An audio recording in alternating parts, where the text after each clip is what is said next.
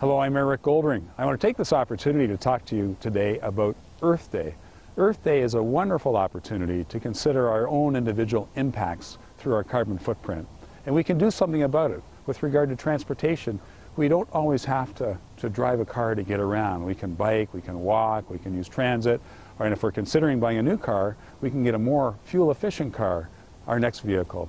Also with regard to energy, we can set our thermostat a little higher in the summer and a little lower in the, in the winter and make sure we turn off the appliances that are not in use to conserve energy.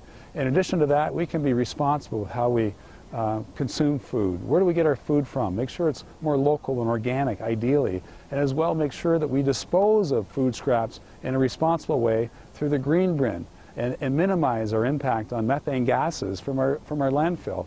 And I want to encourage everybody to get involved in the annual Burlington Green Cleanup Green Up on April the 25th. You can go to burlingtongreen.org and register as a group and come to a big party at City Hall after to celebrate all the tremendous effort that will take place that day in cleaning up our community to make sure Burlington remains one of the greenest cities in the Greater Toronto Area.